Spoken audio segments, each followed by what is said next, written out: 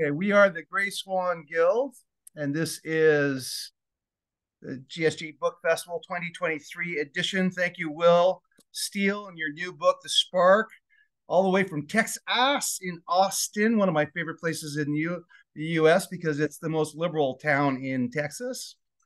And we're in our next segment, and uh, it's a future theme. We're going from fiction to super fiction with Fernando Gutierrez, a friend of the Guild, a Golden Swan. We worked together on a bunch of projects and productions together. He's a consummate professional. He's brought some of his fellow writers with him that have engaged, engaged in partnership. And we're going to talk about a new book uh, called Eco Fascism, Leviathan, and another L word. Yeah, and or Lifesaver. Leviathan or Lifesaver. We're going to talk about yeah. the motivation of the title and we're going to walk you through. Please introduce yourself to the crowd and who's helping you out here and what we want to do together. Sylvia, thank you for joining us. Always great to be on screen with you. Look forward to this. Gina, I'm waving at you too because I know you've been involved with this.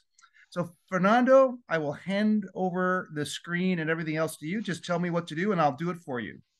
Absolutely. Thank you. I do have a presentation to share, so I'll go ahead and, uh, and start sharing.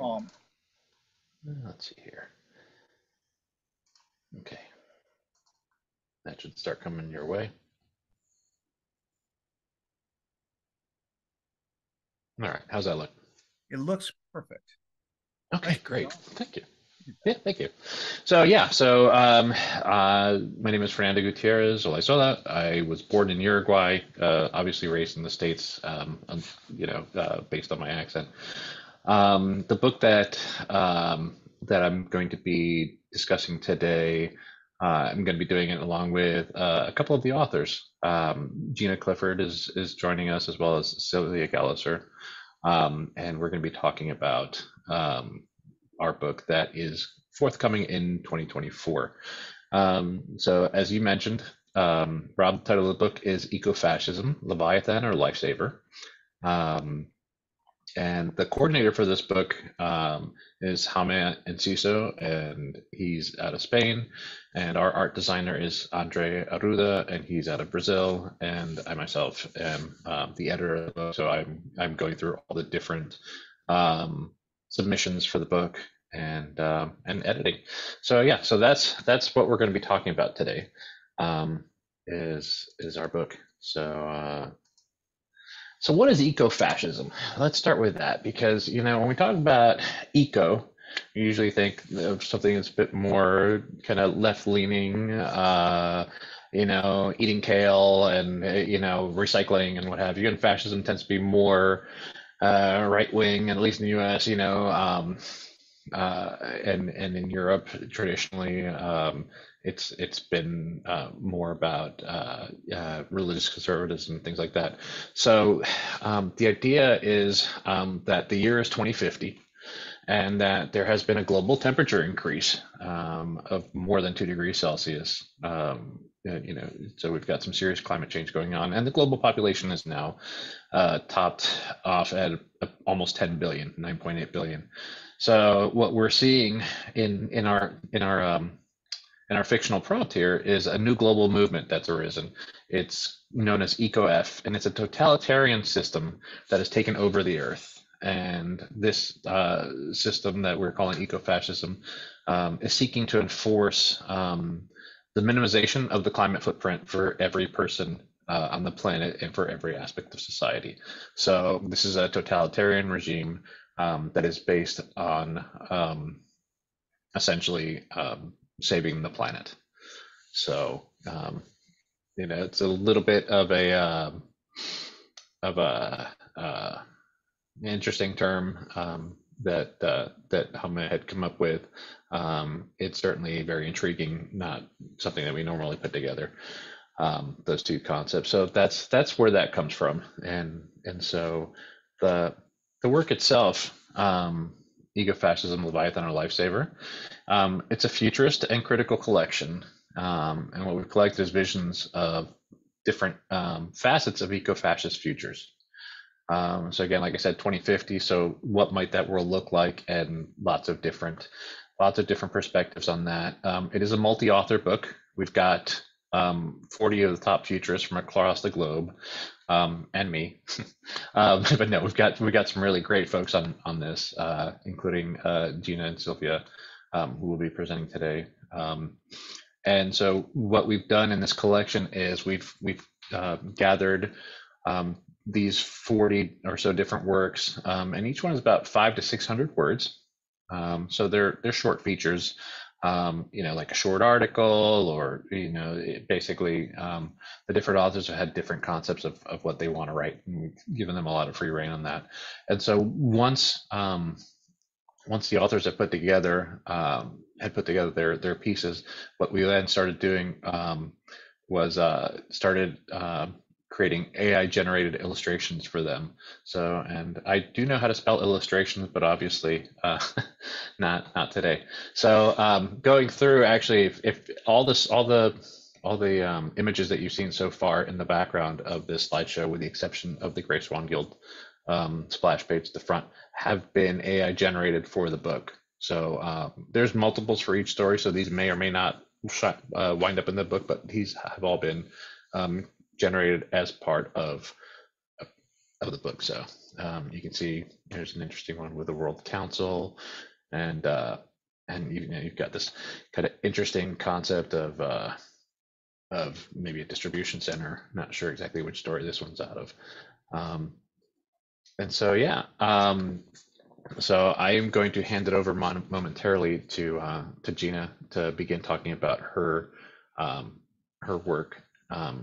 But uh, yeah, it's it's definitely been an interesting mission, um, and it's uh, it's been a little bit of a challenge in terms of finding a publisher. So uh, we're still kind of working that out. But um, some of these, uh, well, I'm not going to say some. All of the all the pieces I've read are very intriguing. They're very thought provoking.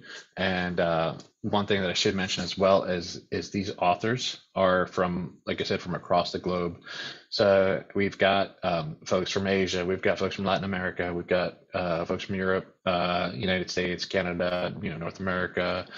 Um, basically everyone around the world and and um, as the editor getting to to look through these it's really amazing to see the different um, the different viewpoints. It's so easy certainly as futurists um, to kind of get uh, I don't know if complacent's the right word, but uh, kind of set in your ways in terms of your viewpoint, um, whether you know you're you're uh, in North America like I am, or you know in Europe, um, um, and um, it's just great to um, be able to see these voices from from lots of um, lots of different um, parts of the globe, lots of different cultures, lots of different perspectives. Not only ways of seeing the world, but also ways of seeing the future, because different cultures uh, view the future in different ways. Some see it more linear, um, as we do in the West. Some see it more cyclical. Uh, others see um, uh, futures and social change coming in waves, um, or uh, or um, you know lots lots of different perspectives uh, on it. So it's it's pretty pretty neat to uh, to be able to to be kind of front and center on that, and I'm excited um, from everything I've read, and i am excited um, for the images that that we've generated so far, and uh, um, I'm really looking forward to to being able to share the entire work um, with the world next year. So um, without further ado, let me go ahead and hand it over to Gina because I know Gina, you're on a little bit of a time crunch. So um, we've got you up first to talk about um, your uh, your submission called "It's 2050: Is Your Life Legal Illegal?" Thank you, Fernando. I appreciate it. And uh, hi, Sylvia. I, yeah, always honored to be on a conversation uh, with with you and Sylvia. So thank you for inviting me. And uh, I'm also very grateful to be part of this project. Uh, I wrote a few more than 500 words. I think mine ended up being about 1,500 words, but you know, if it has to be pared down, so be it.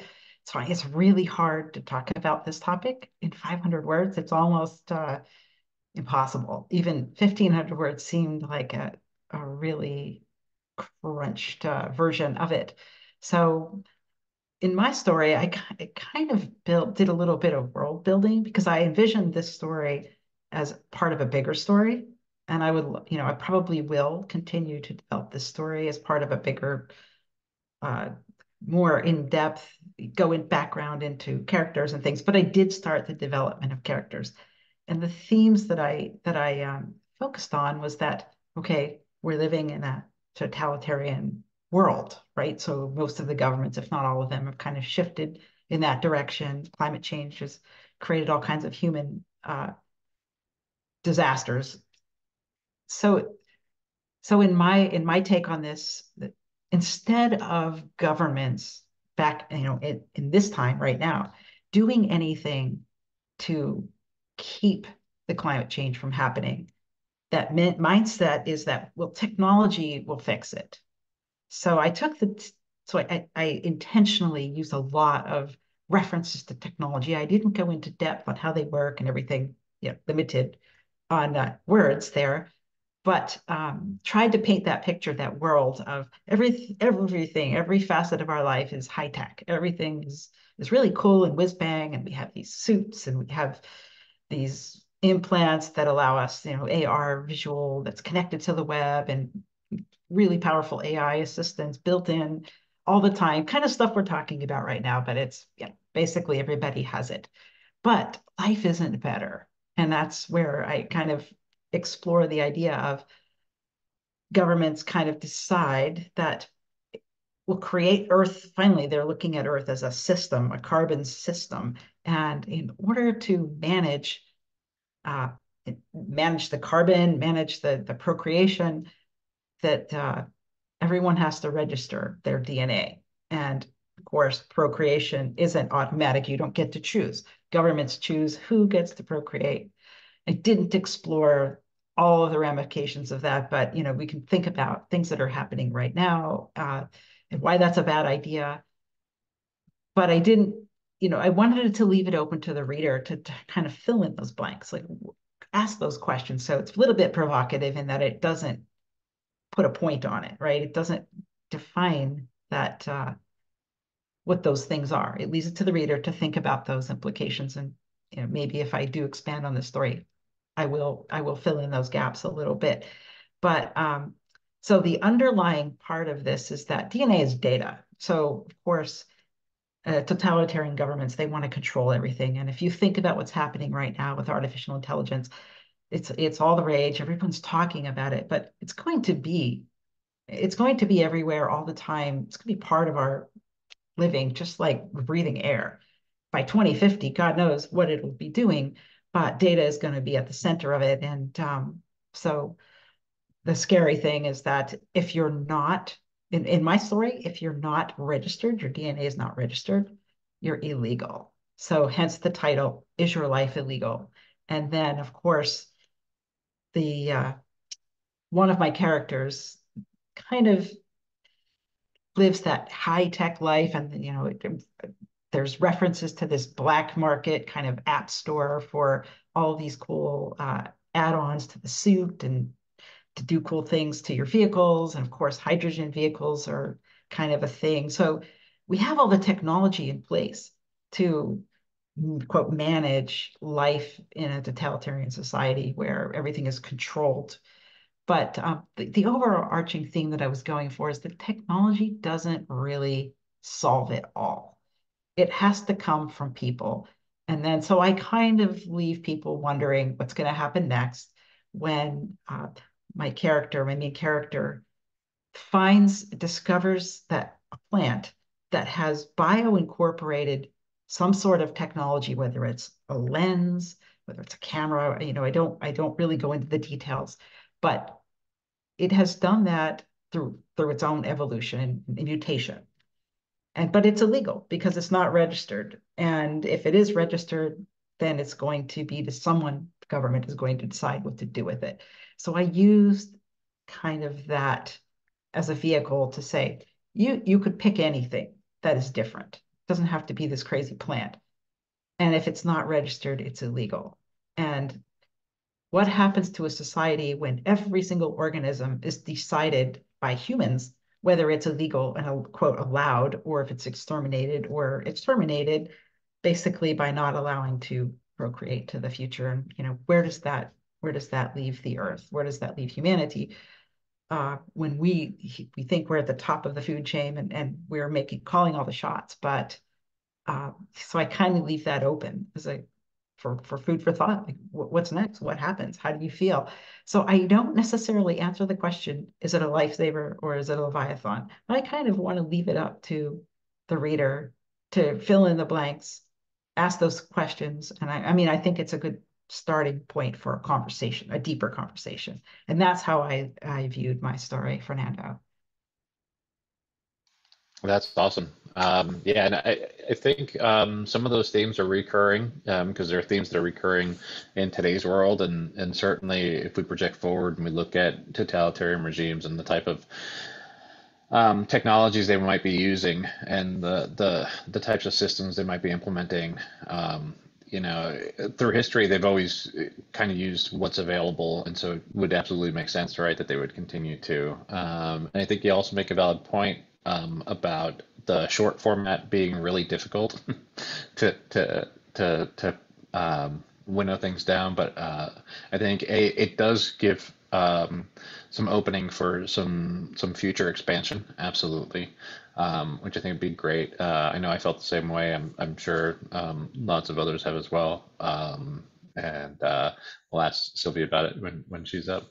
Um, but uh, I think also it it, it's gonna i think another thing is these scenarios i think are going to be a great kicking off point for conversation you know uh, everybody's building a world and and they're you know they're they're not identical but they're very similar um, you know everybody's kind of building their own world based on on that prompt.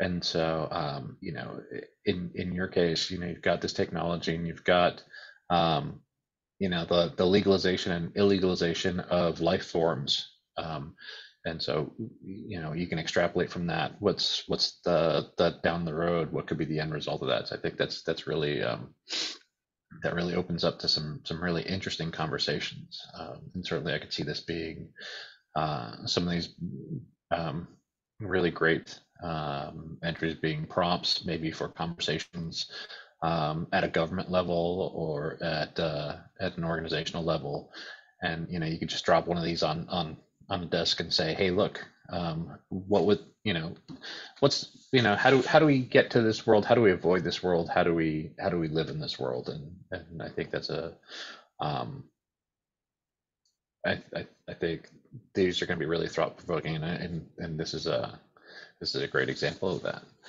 Yeah, exactly. Um, so great, thank you. Yeah, and uh, I appreciate your time. I know that uh, you're only going to be with us for a few more minutes. So um, uh, before we move on, I don't know if anybody, I haven't been watching the chat. I don't know if anybody has any questions or comments. If not, uh, we can keep rolling. Yeah, I I would just add that um, what you said about this being appropriate to throw on someone's desk, maybe at a government level, maybe even a corporation level, because it, it's kind of the, the theme that I went for was that a lot of us jump to technology. We're a lot of us are technologists, and it seems like a obvious place to start. Like we'll just fix it with technology, but but in the in the in the eco f world, technology's there. I mean, it's even in other stories, it's there, but we're still we're still facing that plus two degrees increase in temperature and we failed. So the idea is these kinds of stories, these scenarios help us think about that those ramifications when when it's too late. You know, technology might be able to help us stave off the worst case scenario if we act now. But if we wait until 2050 and we're faced with everything, so we're just going along, extracting from nature, you know, allowing oil uh, companies to expand tremendously for the next decade or two. Well, you know, I, I, get that there's a, a trade-off between economics and needing to make money for a, a company or country, but um, but we're ingen- ingenu- ingenious people. People, humans are ingenious mm-hmm. by nature. We could figure it out if we decided to. We just, it's easier just to keep making money, doing the same thing we're doing, and we'll fix it when we can't have any other choice. And then that's where this story ends up is we're there. We have no other choice. Now technology's there, doing all those crazy things, but life isn't better for humans. In fact, it's it's pretty terrible if you are told that you have to register your DNA and you're illegal if you don't. And by the way, you might not be able to procreate because of whatever reason, you're not the right race, you're not the right color, you're not the right height, you're not the right intellect. And then uh, you go back to, if we say history repeats itself, you know, you think about the eugenics era and we're, we're back there again. And that's kind of what that is, is kind of like if you don't learn the lessons from history, you're destined to repeat them. And uh, right. yeah. Yeah. Yeah, absolutely. And uh, you know, as the saying goes, history may not repeat itself, but it certainly rhymes. And so whether whether it repeats itself exactly or not, yeah, it's definitely um, there's always that that that danger. Uh, I think also, you know, I mean, the carbon isn't there because of cooking fires coming out of caves. It's there because of technology. So, um, you know, it is very much a, a, a double-edged sword. So um, it's it's gotten us to where we are, um, and definitely need the opportunity for it to um, to take us where we need to be. And Rob, you have your hand up. I do. Thank you. Thank you so much, Gina. Uh, great idea for a story. Of course, genius. Um, let's talk about fiction as a mechanism. I know that you could write a magazine research article on eugenics in 2023. I know you can do the research and I can write nonfiction about this and research oriented. I know you. Uh, but a vehicle of fiction. Tell me or talk about why fiction is a choice here to influence policy now. Well, fiction is safe because the definition of fiction is that there are no facts, right? It's so you can just take that off the table. You don't have to worry about fact checking.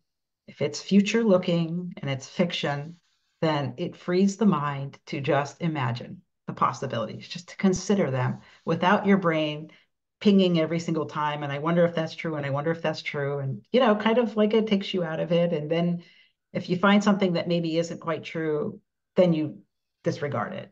So by using fiction, you take that off the table and you can literally hand somebody something that could be fairly short, provocative, well written, so that it keeps their attention long enough.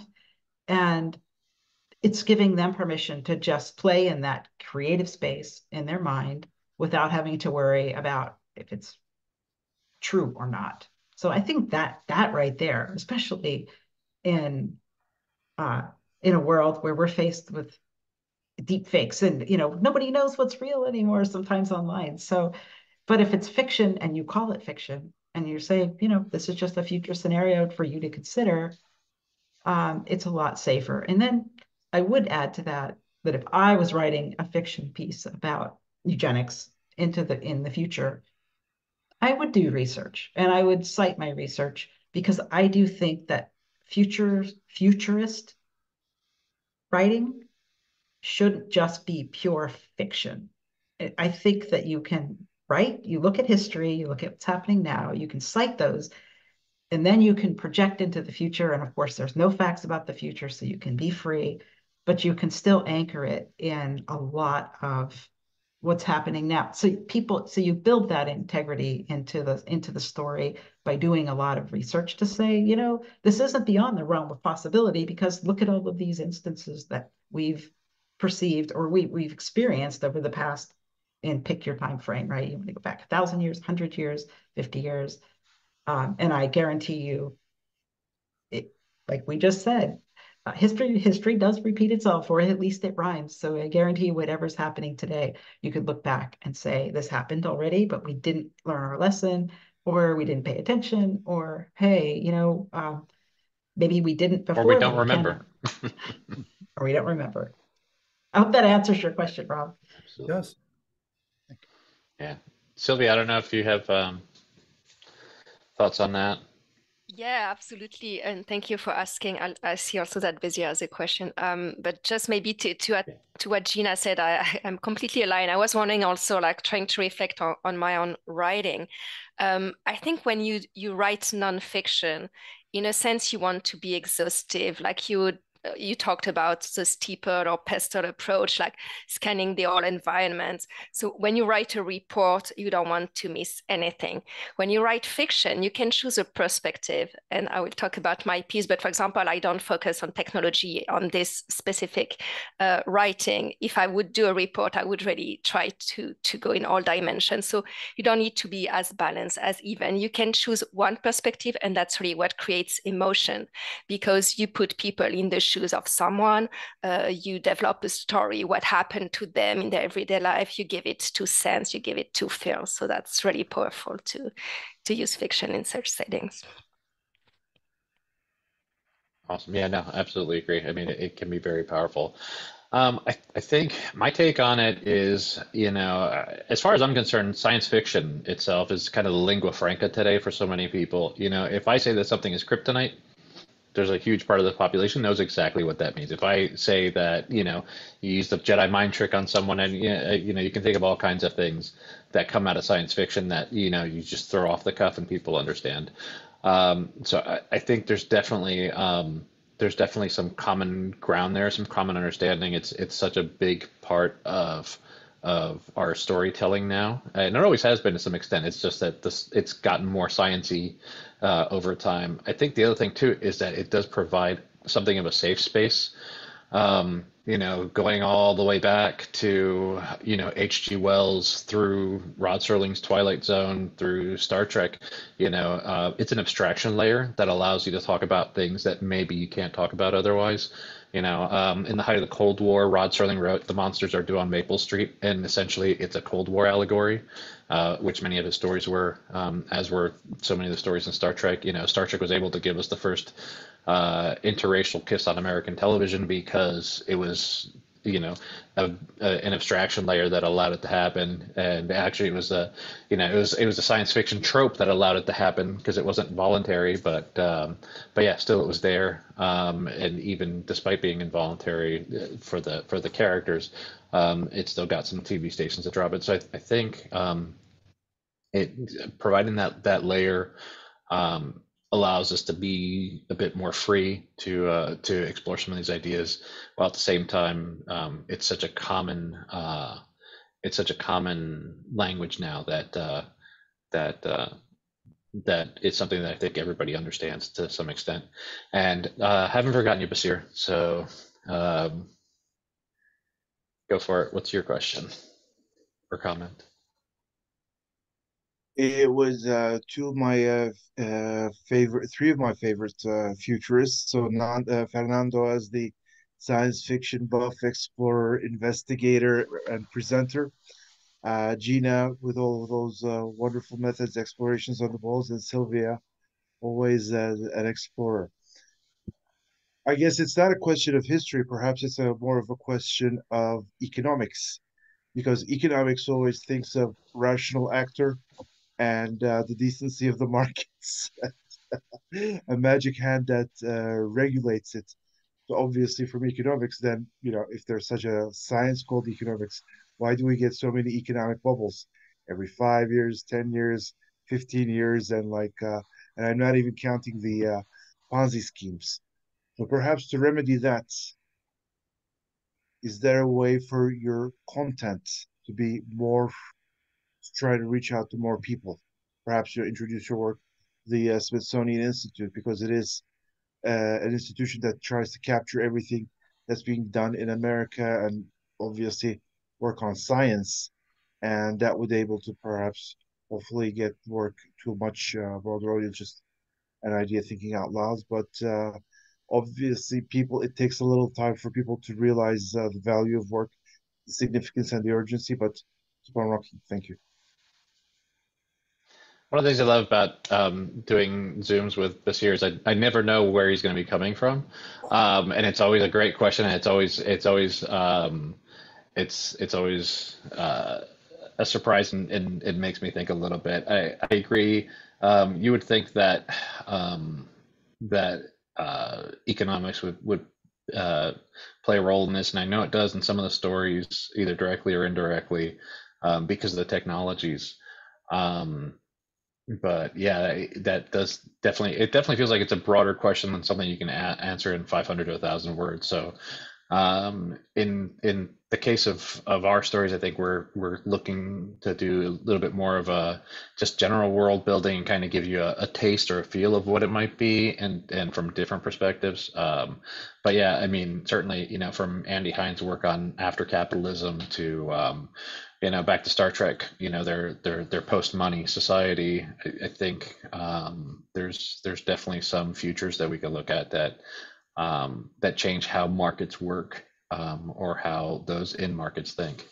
So, um, so definitely something to ponder um, but uh, but yeah just a, a little bit outside of our scope just because of of the the restrictions that we put on the prompts but uh, great question all right, so um, for the in the interest of time, I'm going to go ahead and, and move on to uh, to our next author, Sylvia Gallusser, and uh, the title of her work is Vichy: Different Seasons. Thank you. Um, yeah, so I would say first of all, well, it's always a real honor to contribute to to um, a futurist publication and especially to collaborate on this one, this book on ecofascism under the leadership of Fernando and Rome. Um, and among so many futurist friends and, and actually Grey Swan Guild's member as well. If you see the whole list of authors, there are a lot of Grace One Guild colleagues in, in it. And Gina, I completely echo your words. It's always such a treat to be in a conversation with you. And, um, and I am so amazed by your talent and creativity and also empathy. And I, I really uh, can't wait to read your chapter. Um, so my, my, my story, my relationship to the book. So um, when Rome um, reached out to me at first to contribute on this book, um, I have to say my first reaction was a bit um, ambivalent um, because for Europeans, there's always a sort of epidermic reaction to the word fascism itself. And, and we did the sort of imposter syndrome as like, I'm not in a position to talk about this. How could I address something as large and as shameful um, as this part of our European history. Um, at the same time, I, of course, wanted to embrace the challenge and, and, and dissect this apparent contradiction between, on one end, like ecological initiatives, and on the other end, fascism. And I admit uh, it's been quite painful uh, to write. I hope you'll appreciate the results, and I, I can give you some background as why I came up with that story and that title. Um, so in my in my story, I address a range of topics uh, from overpopulation to carbon quotas, um, also animal food restrictions, and more generally, possible consequences of what an eco-extremist uh, government could bring. And for once, we were mention, uh, mentioning economics and technology. Well, on my end, I parted a bit from technology, which is usually like my cup of tea, um, to address more politics, regulations, policies, and their impact on the future of humanity, empathy, and tolerance. Um, there's one concept I introduced, the one of human growth planning from the perspective of a minister um, so it's a very personal and intimate story um, where I try to investigate one one's sentiment um, of doing things right, um, also the sentiments of, of, of guilt and responsibility. I also introduce another um, complex concept, the one of, of gross residences where people are sent in their end of life that, um, of course, eco concentration camps. I made the conscious choice um, of setting this story in France, which is my home country, um, in memory of the pain um, that this country uh, went through the last century. And I wanted to talk also about something uh, personal and close to my culture and embodied in one of our signature products, namely charcuterie, ham, sausages, saucisson, um, something that is now a sin um, in the 2040s with meat consumption and meat trade uh, being forbidden by law. And I place the story in the very city of Vichy, um, which you might have heard about. Um, in, in this case of the story, following a major event that happened in 2040, which is, of course, an echo to what happened um, in 1940. And I try to illustrate the consequences. So, of course, there's a, a symbolic, a symbol in this, uh, given it is a century after the Vichy government became the official government of France and supported the Nazis um, during World War II. Um, on top of that, I, I really wanted to, to show, to illustrate ways you come to compromise your personal values uh, to serve a fascist government, ways you also come to betray your own family and your origins, and also ways you can you can enter in resistance and the risks and guilt attached to it. And finally, I try to end in a positive note with ways to, to redeem yourself. Um, and finally, in terms of, of format, uh, the, the form itself of the writing, I, I, opted for something I'm not used to. Once again, I wanted to explore, busy as you said, I'm an explorer. So I wanted to ex explore um, an expressionist form. So it's close to expressionism and spoken poetry, actually in the style of Paul Celan, um, I, you might be familiar with his uh, Black Milk of Daybreak in the Todesfuge, which is a writing um, about the concentration camps. And I really want to commemorate uh, those past tragedies and show how history repeats itself or, or creates patterns and echoes over time, like in waves, and, and, and to help us prevent that to happen and the title itself, like Vichy Different Seasons, um, is finally a reference to a collection of four novellas um, by my role model in writing, Stephen King. Uh, you might know um, that book. It's not the most famous one, but it definitely have one of the four novella of the, the short story, um, Apt Pupil, uh, which I really invite you to read. Uh, it's a story of the kind of, of strange friendship between a child, a young boy, and an, uh, a Nazi and an, another identity. Um, and I want to kind of bring some of, of that atmosphere to the story. So I, I hope my, my writing brings you to consider possible futures, of course, reflect and challenge the existing. Thank you. That's amazing. Um, yeah, it, it's really it's really touching. Um, you know that you you've got so much of a of a personal connection to it. Um, you know because of the history. I, um, as just uh, not even starting with the history, just different seasons. Yeah, it's it's an amazing book. Most people don't don't necessarily recognize the title, but um, Apt Pupil became a a, a, a big movie uh, Rita Hayworth and The Shawshank Redemption from that book became The Shawshank Redemption. The Body became Stand By Me. So I'm trying to remember what the fourth novella is, um, but it escapes me. But yeah, that became a monster hit as movies for Stephen King and, and some of his best writing for sure. Um, so I'm, I'm a huge fan as well. Um, but yeah, it, this definitely um, this definitely does have some echoes of history um, and certainly, um, yeah, you're right. Uh, uh, fascism, just the term is is definitely a a, a delicate subject. Um, certainly in Europe, um, and and more and more, it's it's becoming a topic of conversation in the United States as well, and and in in other parts of the world um, where uh, where governments are starting to shift um, uh, away from liberal values and more towards um, conservative and, and, and centralized um, concepts. So um, a concept that might have been unthinkable or radical a few years ago, um, you know, we're starting to get concerned about as well. And certainly, um, to your point, in, in Europe, something um, that Europe is familiar with, but that at this point it's older Europeans, right? Um, and, and so the memory of that may start to fade, and that um, that gives it opportunity to rise again. Um, so definitely something something to be concerned about. Um, but yeah, this is it's great great work. It's very uh, very moving. Um, Yeah, absolutely.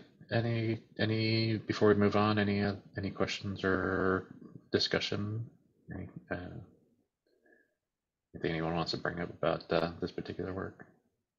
Yeah, On like the point, sorry, sorry, please go, Gordon. Sorry. uh, just real quick, uh, Sylvia, uh, appreciate how and use the right word painful this has to be to reflect on things that happened before we were born but are a part of our history uh, as a matter of casting futures uh, that seems new for you to go so negative uh, was that a conscious choice is that true or say a little more about that because i think you and i agree we're always looking for how do we create a positive future people want to live in uh, I, that's me anyhow, and I, I think you're you're usually there too. But uh, can you comment on that? I appreciate you at that. Actually, um, I haven't realized it myself that I, I usually write more about positive future. I like to to have always a silver lining in, in stories and so on. I admit this one, like the the title, the world invited me to something darker. And I don't know, from the start, I went to write something in, in the style of, of, of that story from Stephen King. So something just imposed itself on me. And I was like, I need to explore that darker road. It would be too easy to just try and escape it. And I don't know, I was brought down with the, with the topic. Um, I still hope the end of the story uh, brings that silver lining, but yeah, Yeah, that's a good you. point. Like usually, I, I would say we were talking about writing. Um, I think there are two two types of writing as well, or like uh, or, or probably more than two. But within fiction, it's not just one way to think about fiction. I like to differentiate. Sometimes it's about just writing scenarios, and you you force yourself. It's it's closer to nonfiction in that sense that you have a methodology, you extrapolate from signals, you force yourself to have different types of scenario, like the, the for alternate future and so on. Um, in that story, I feel I'm probably closer to, to science fiction in the sense that I'm detaching from reality to really like go dark with one topic. And, and in that case, it's not that much about being balanced as like almost being brought down by the story itself. I don't know if that answer exactly your questions, but No, yeah, it, it does. It's, it's going to be very powerful, and I look forward to it. Thank you. I kind of feel like we we we, we kind of painted you into a corner too because we didn't say, hey, what's your what's your best eco future? And we threw you into eco fascism. It's it's kind of hard to uh, it's kind of hard to um, to to write a super upbeat story about eco fascism. Um, so yeah, I, I think I think we can take some of the blame for that as well. Sylvia, uh, all all all future fiction is written about the present. I I'm looking forward to reading your story. You know, I love your work. Um, given the story, the majority of it, where would I look to see where it's happening? Is it happening in France? Is it where is this happening now? You know what? I would say California, actually. I, I I'm Oh, sometimes surprised by how young people I'm like so surprised by that. More, please. Yeah, so I actually I, I feel really um like young people from school sometimes they they come back with messages that are really surprising to me, like not tolerant about people drinking alcohol or people smoking or people eating meat. And and and I feel sometimes I need to tell my children about like freedom and liberty of choice of other people because they have this message that's called that there's one healthy way to live your life. And if, if you get out of it it's it's it's not the right way. And and i kind of try to balance that with more tolerance. So from my experience i i see some part of of let's say some some stems of ecofascism sometimes around me yeah. Thank you. but it might happen in many other places i'm just relating to my own experience Mhm. My neck of the woods. uh, I mean, I mean, I grew up uh, in a Gaddafi's world. My family moved out of the Gaddafi world and temporarily to Ceausescu. so already uh, before I was 18, I've seen those two. And then uh, here in Turkey, not too distant. And a lot of the times in uh, fascism, and authoritarianism, autocracy. There's also kleptocracy. Kleptocracy in the sense that in means of distribution of resources and so forth, where you have the in-group and the out-group. And the in-group always takes uh, a lot of the benefits, you know. So, I mean, I'll just leave it at that. And if anyone has more information, you can reach out. Thanks. Great. Thanks, Monsieur. All right, uh, moving along because I know we're getting a little tight on time. Um, so, and I actually, I've got, I spoke to Antonia. She can't make it, but I'm going to be talking about her work a little bit as well. Um, but before we get to that, um, wanted to mention mine, um, which the the title of mine is Roanoke. Um, and so initially, when when I got the idea, when I when I got the prompt for ecofascism, I had this whole idea of you know prison, you know, eco-fascist prisoners, you know, talking with each other and kind of developing their world that way. Um, you know, a little bit of Kiss of the Spider Woman, I guess. And then uh, I think it was Sylvia that said, "Well, I can't wait to see what you write about space." I was like, "Okay." Um, but uh, but yeah, no, no, and and afterwards I was like, yeah, you know what? I think it would have been really difficult. It would have been way too far in my comfort zone to to do that, um, especially with the editorial duties. So instead, of course, mine is about space, and the title of mine is Roanoke.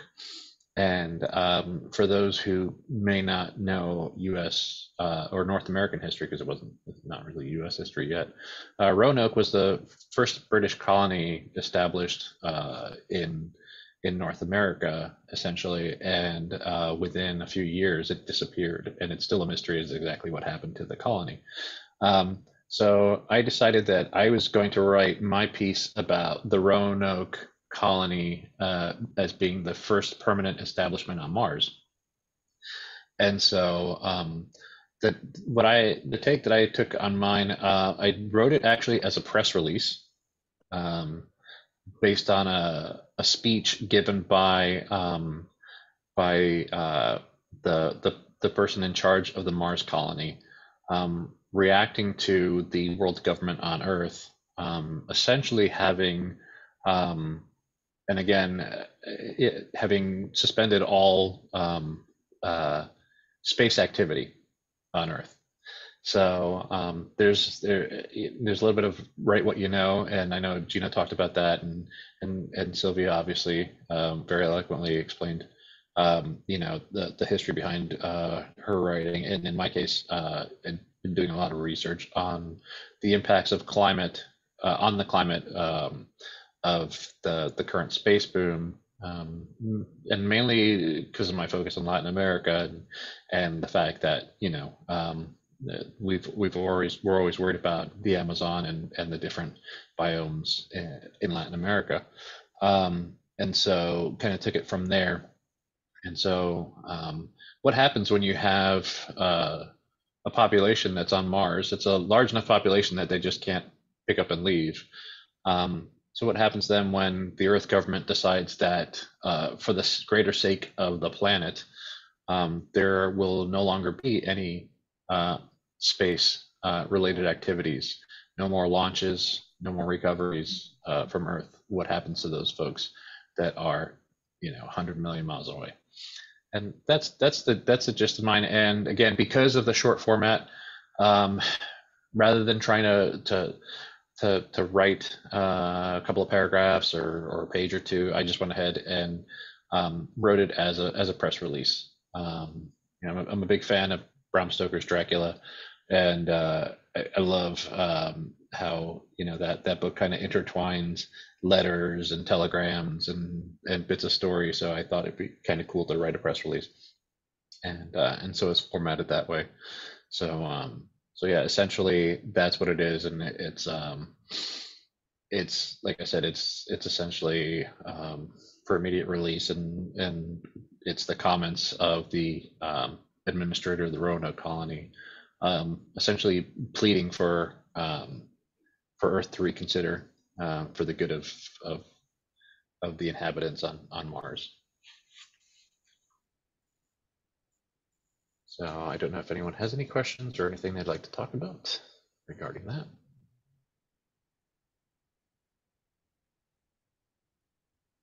That one's fairly straightforward. Uh, I got one for you. Um, since Roanoke, the historical Roanoke had a unresolved outcome. Uh, is it a spoiler to tell us if you have one in this book or not?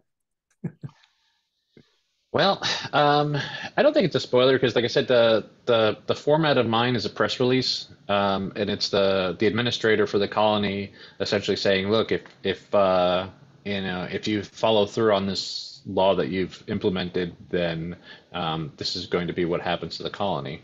So it's it's kind of a, a now. You can extrapolate out, and kind of like what Gina said uh, about her piece, that it was very very limiting, and as a writer, you get a little bit frustrated by that.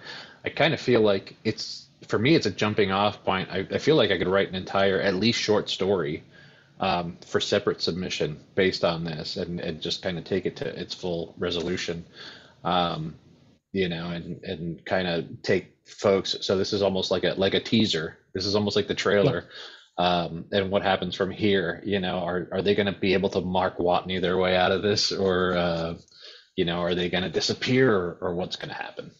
So Great. yeah, it's it's not a spoiler to tell you that it doesn't get resolved in a page and a half, but uh, but yeah, it's it's uh, it's definitely um, I, I enjoyed writing it. Um, it was a different format for me. I actually had to go and pull up a whole bunch of press releases and, and see how they're formatted and and really internalize it. Uh, yeah, so it's good. And I haven't we have we don't have artwork for it yet. This piece of artwork isn't for it. Um, but I am looking forward to seeing what the what the AI generates. Um, yeah, I, I, can imagine the challenge of trying to write fiction uh, using the AP style guide. yeah, no, for sure. Um, for sure, yeah. No, the style guide just goes out the window uh, for the most part. Uh, I did run it by by someone who's in public relations who does do a lot of press releases and um, a personal friend who um, who um, who I share some other works with, and uh, and he said, "Oh, it's a great looking press release." Um, so yeah, I was, I was happy with that. Um, so I know that we're getting close to the end. So I'm just going to talk about Antonia's uh, work, and hers is titled "For the Common Good."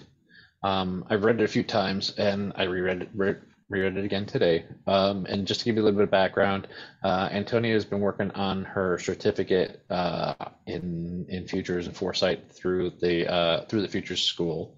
Um, and so she'd been working on uh, recently on on uh, climate based scenarios. So she was saying that that gave her a good background for for putting together this story. Um, you know, having having done the brainstorming, having talked about climate futures and things like that, gave her a lot of background. And just like Gina said, just like Sylvia said, and I said, you know, you it feels like to some extent um, we're writing what we know, and she knows what she knows on this based on the fact that she's been doing this this uh, futures program. So um, so she was able to to extrapolate um, based on those scenarios. And then in terms of technology, um, she incorporated a good bit of technology, uh, not, not not necessarily down some bolts, but it's certainly pervasive throughout her work.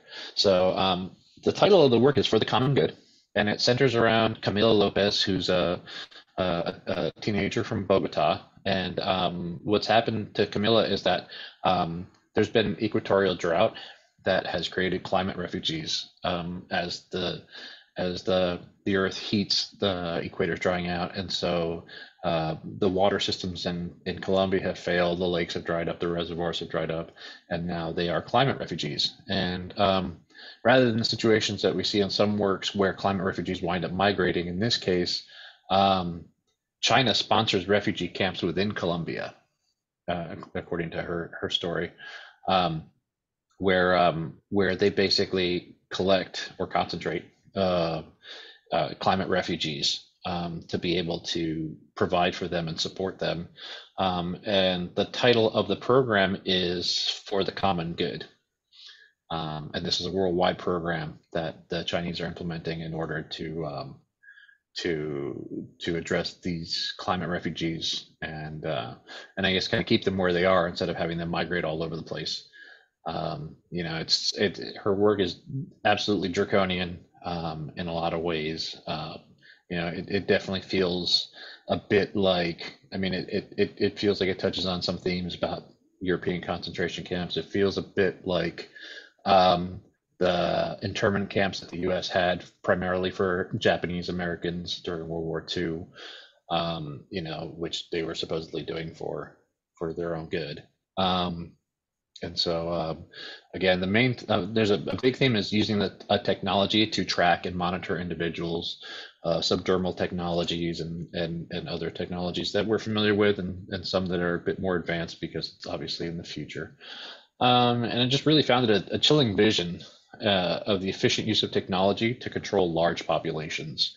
Um, and again, that's through in, in implants and through sensors, and then um, you know we walk into the camp with Camila, so we kind of know what her experience is with the media before she goes in and after she goes in. And we know China has a habit of, of you know, really controlling um, media experience within within areas that they control. So, um, so that one was really, um, really chilling. I, I, I found it very moving, um, and uh, definitely, uh, definitely, I think one that's going to um, feel very impactful and emotional for for readers when they when they get a chance to read it. And so that's it. That's our book, Ecofascism, Leviathan or Lifesaver. Um, thank you for your time. And you know the link to the page is down here at the bottom, and I believe Rob's going to be sharing links. And I don't know if we have time for discussion because it's almost half hour.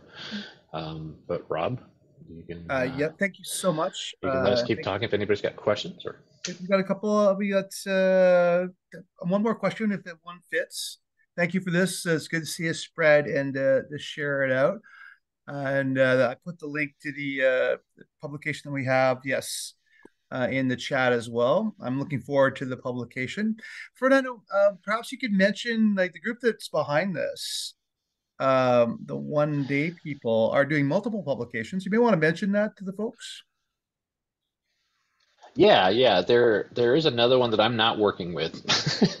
so, I, uh, yeah, okay. yeah, I'm not, I'm not that familiar with it, but, um, but yeah, there, uh, it is, it is a, a, a great group um, that's doing some really, um, really interesting work. Um, and looking at these possible futures um, in, in 2050. Obviously, this one is is very dark because it's um, it's ecofascism, but um, um, and they've uh, they're also looking at uh, one called uh, they're working on one called climate utopias, um, which I guess you could say is the antithesis of uh, climate um, uh, ecofascism, and uh, I don't know if if maybe Sylvia would have fit better with her with her upbeat uh, and positive futures writing in, in climate utopias, but uh, but uh, that is another another work that the group is uh, participating in. Yeah, I've got a chapter in that one, and uh, your your inclination is, is right. It was it's the flip side of writing like when you're worried about things and being anxious and writing the positive side it takes some rewrites to get the negative stuff out. Oh yeah I, I would imagine so. I mean certainly coming from you know a generation where uh, we were the generation sat in the theater to watch you know mad max and the terminator and and all of these kind of dystopian futures. It's uh it's very easy to um it's very easy to uh to go dark it's just kind of kind of you know our default. So getting away from that that's can the, be a challenge. That's the name of your book. It's very easy to go dark.